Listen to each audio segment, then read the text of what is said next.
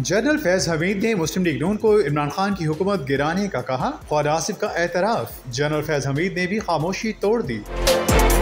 गुजशत रोज एक निजी चैनल के प्रोग्राम में ख्वाजा आसिफ ने इंकशाफ किया था कि इनकी जनरल बाजवा के सुसर के घर जनरल फैज हमीद से मुलाकात हुई थी और जनरल फैज ने मुझसे पूछा, आप क्या कर रहे हैं? जनरल बाजवा को एक्सटेंशन दे रहे हैं? मैंने कहा, जी बिल्कुल, हमने फैसला किया, हम एक्सटेंशन के लिए वोट देंगे, जो हमने दिया भी। उसके बाद उन्होंने कहा, आपकी शराय क्या है? मैंने कहा, मुझे इंस्ट्रक्शन ये है की कोई शराय नहीं है, हम कुछ भी नहीं चाहते। तो जनरल फैज हमीद ने कहा की, ये आपकी मर्ज़ी है, लेकिन हम इमरान खान से बहुत बेजार हो गए हैं। आप जून तक पंजाब की हुकूमत लें और दिसंबर में वफाकी हुकूमत देने की तैयारी करें इस हवाले से अब एक निजी चैनल के प्रोग्राम में सीनियर सहाफ़ी चौधरी गुलाम हुसैन ने दावा किया कि जनरल रिटायर्ड फैज़ हमीद ने कहा कि मेरी ना तो ख्वाजा आसिफ से कोई मुलाकात हुई, ना मेरा इनसे कोई रबता हुआ, ना ही इमरान खान की हुकूमत के हवाले से मैंने कभी इनसे कोई बात की। ख्वाजा आसिफ का बयान सरासर झूठ पर मबनी है। मैं इसकी सख्ती से तरदीद करता हूँ और मैं ये हक रखता हूँ कि मैं इनके झूठे इल्ज़ाम पर कानूनी कार्रवाई करूँ। चौधरी गुलाम हुसैन ने मजीद कहा कि जनरल फैज़ हमीद ने यह भी कहा कि ये क्या तमाशा है? मैं एक शख्स से मिला ही नहीं और वो मुझे कोर्ट कर रहा है कि मैंने इसे कहा कि जाओ हुकूमत ले लो। ख्वाजा आसिफ ने सौ फ़ीसद झूठा बयान दिया।